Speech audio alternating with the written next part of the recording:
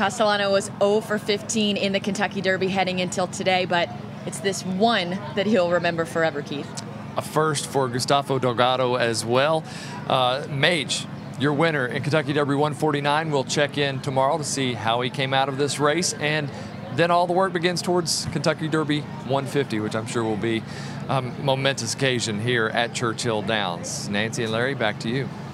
Let's hope all the horses came out great. Mm-hmm after today. Well, the Derby was attended by what looked to be a pretty large crowd, definitely a crowd with a lot of electricity. Yeah, there was just a buzz all the way around. The new first turn building, a popular oh, yeah. location. People nice. had tickets there. Uh, they, they're saying right now 150,335 in attendance for this run for the Roses, and there it is right there. Very healthy crowd, very active crowd, and one that uh, leaves certainly not disappointed at all.